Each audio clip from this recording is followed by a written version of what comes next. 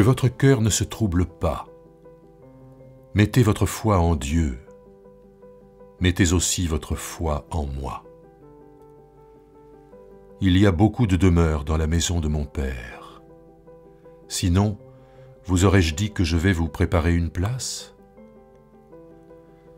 Si donc je m'en vais vous préparer une place, je reviens vous prendre auprès de moi, pour que là où moi je suis, vous soyez vous aussi. Et là où moi je vais, vous en savez le chemin.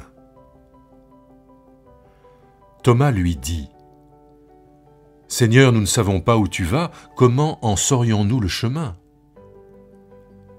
Jésus lui dit, C'est moi qui suis le chemin, la vérité et la vie. Personne ne vient au Père sinon par moi.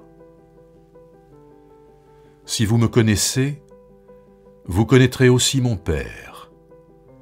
Et dès maintenant vous le connaissez, et vous l'avez vu.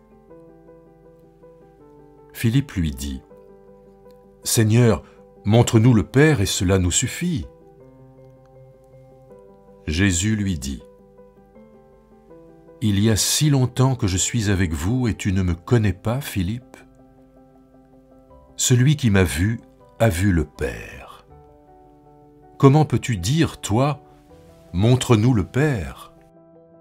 Ne crois-tu pas que moi je suis dans le Père et que le Père est en moi? Les paroles que moi je vous dis, je ne les dis pas de ma propre initiative. C'est le Père qui, demeurant en moi, fait ses œuvres. Croyez-moi. Moi je suis dans le Père et le Père est en moi. Sinon, croyez à cause des œuvres elles-mêmes. Amen. Amen, je vous le dis. Celui qui met sa foi en moi fera lui aussi les œuvres que moi je fais. Il en fera même de plus grandes encore, parce que moi, je vais vers le Père. Michel, d'abord le tout premier verset.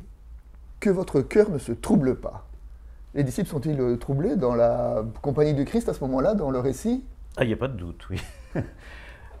Parce que euh, Jésus, il revient trois fois finalement dans son discours d'adieu.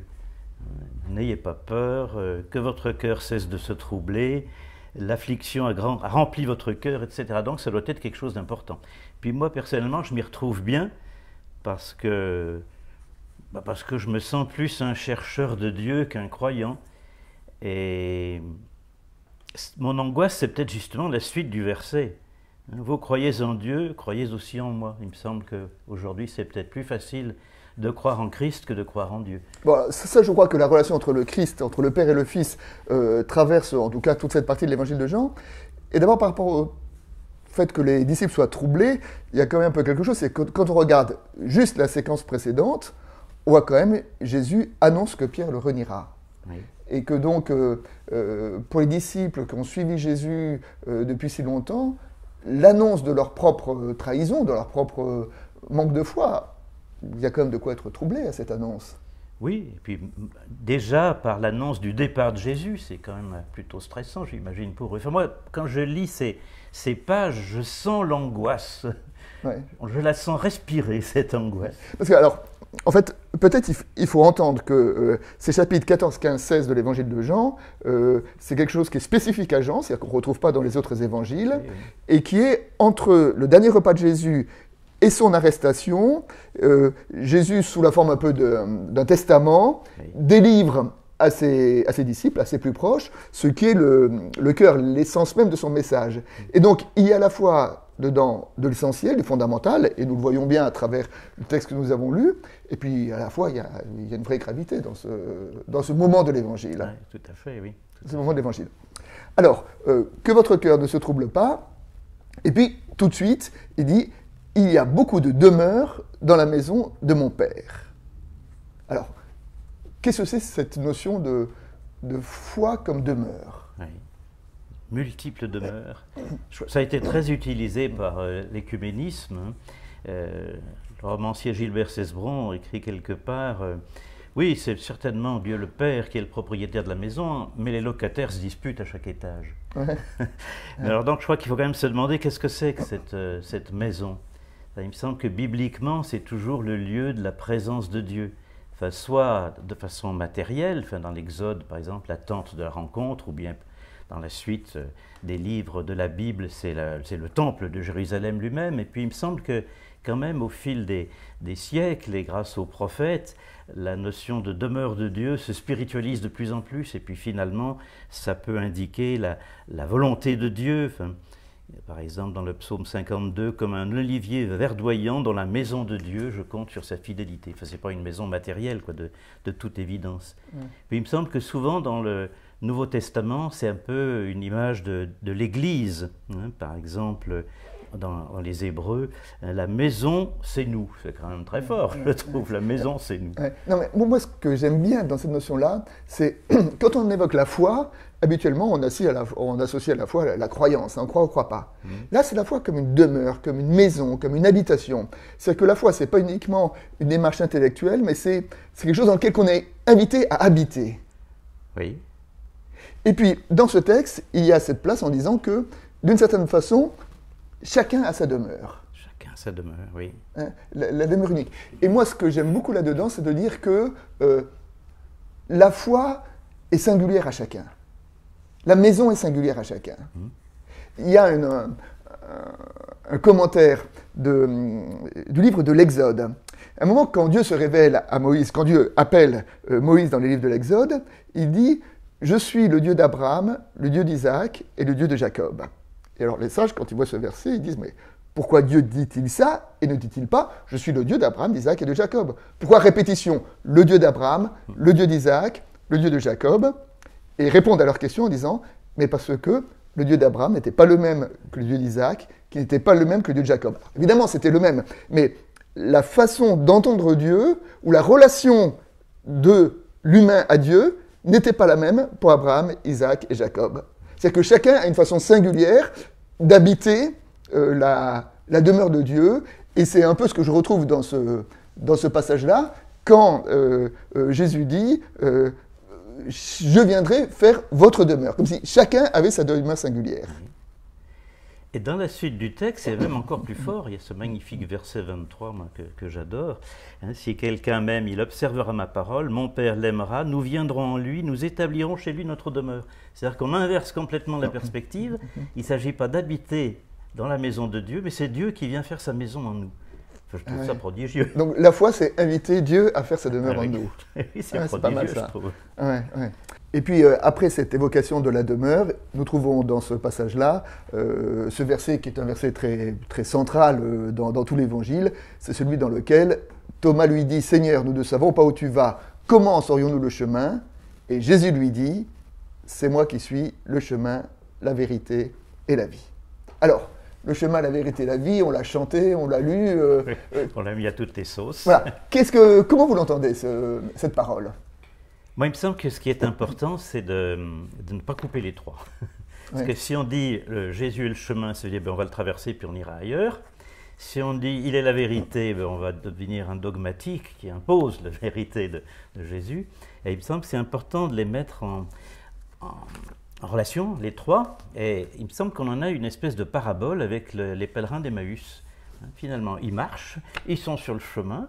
Jésus leur explique les Écritures ils en ont le cœur plein de joie, il faudra qu'on y revienne d'ailleurs, c'est important, la joie. Au fond. Et puis ils retournent vers la vie. Hein. Quand ils retournent à Jérusalem, ils, étaient dans la mort et ils retournent vers la vie. Donc ils découvrent en marchant une certaine façon de vivre selon Jésus. Mmh. Ouais. Et ça, ça me semble très très fort. Ce que j'aime bien dans l'articulation de, ces trois mots, c'est qu'il y a la vérité est encadrée par le chemin et par la vie. Et d'une certaine manière, la question de la vérité, c'est la question qui nous, qui nous agite, qui nous préoccupe lorsqu'on lit l'Évangile. Et là, ce que Jésus nous dit, c'est que la vérité de l'Évangile, c'est à la fois un chemin et une vie. Et j'aime bien cette association-là. Hein. Un chemin parce que euh, la foi est d'abord un chemin. Et là, j'aime, euh, je voudrais juste lire un, verset d'un psaume euh, dans lequel Jésus dit, enfin pas Jésus, dans lequel le, psalmiste dit, le Seigneur du ciel se penche sur les êtres humains pour voir s'il y a quelqu'un qui ait du bon sens ou de l'intelligence qui cherche Dieu. Mmh. C'est-à-dire que l'intelligence ici, c'est chercher. L'intelligence, ce n'est pas savoir, ce n'est pas connaître, mais c'est chercher. Dans le psalmiste. Hein. Et, donc, et quand Jésus dit le chemin, la vérité et la vie, c'est que la vérité, c'est d'abord un chemin. C'est-à-dire que c'est quelque chose qui est jamais euh, euh, bloqué, jamais total, mais qui est toujours euh, en recherche, en quête. En quête hein. et, en cela, la foi s'oppose, pour moi, la, foi s'oppose à, deux principes qui est le dogmatisme ou le scepticisme. Le dogmatique dit je ne cherche pas car j'ai toute la vérité. Le sceptique dit je ne cherche pas parce qu'il n'y a rien à trouver. Et la foi, c'est justement, c'est ni le dogmatisme, ni le scepticisme, mais le chemin, la quête. Oui. D'autant plus que chez Jean, il s'agit moins de connaître la vérité que de la faire. Et faire la vérité. Faire la vérité, enfin, ça revient par exemple dans le chapitre 3, dans la discussion entre Jésus et Nicodème, et puis dans la première épître de Jean, c'est être de la vérité, comme on est d'un certain pays. Je trouve que c'est très fort. Puis alors, il y a le On retrouve aussi l'habitation, hein. être habité, habiter la vérité, enfin, tout ça, c'est des thèmes qui, se, qui, se, qui résonnent les uns avec les autres. Tout à fait, oui. Puis il y a le je suis, hein. je suis la vérité. Alors, le je suis qui parcourt tout l'évangile, l'évangile de Jean est scandé par plusieurs je suis. Euh. Oui, tout à fait. Bah, c'est une façon de dire je suis divin. je, suis. Oui, bien sûr, le je suis, c'est le je suis de, de, Dieu, je suis qui je suis, enfin aussi. C'est, euh. Et il y a alors le chemin, la vérité et la vie. La vie. Alors là, on sait que donc euh, un des versets, un des commandements les plus importants dans, dans le Premier Testament, c'est choisis la vie. Choisis la vie de Théronome. oui. La vie de Théronome.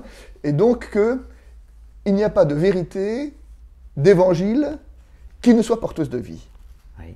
Hein, et, qu'on peut dire d'une certaine façon, euh, euh, l'évangile porte la vie. Ou quand il y a de la vie, il y a de l'évangile. Quand il y a de l'évangile, il y a de la vie. Et, parce que de temps en temps, on a un peu l'image d'un évangile qui nous, qui nous, qui nous rapetisse, qui, qui nous recroqueville, qui, qui, nous interdit, etc. Alors que là, le euh, non, la vérité, c'est l'évangile, c'est un chemin et c'est une vie. Et je trouve que l'association de ces trois mots est très, euh, est très juste et très éloquente pour nous aujourd'hui. Et au point de contact des trois, il y a la joie. La joie, Les oui. pèlerins d'Emmaüs étaient remplis de joie. Enfin, comme dit Bergson, la joie, c'est le signe que la vie réussit. Dans ce domaine-là aussi. Alors, et la joie est aussi un commandement qu'on trouve dans, cette, euh, dans ces chapitres, de, enfin, dans ce testament de Jésus de, l'évangile de, Jean. Alors Michel, euh, avant de quitter ce texte, il y a quand même le dernier verset que je voudrais que vous m'expliquiez, parce que pour moi il est un peu une énigme, celui dans lequel Jésus dit, Amen, Amen, je vous le dis, celui qui met sa foi en moi fera lui aussi les œuvres que moi je fais, il en fera même de plus grandes encore, parce que moi je vais vers le Père. Donc celui qui croit en Jésus fera des œuvres plus grandes que Jésus. Comment, entendre cette affirmation?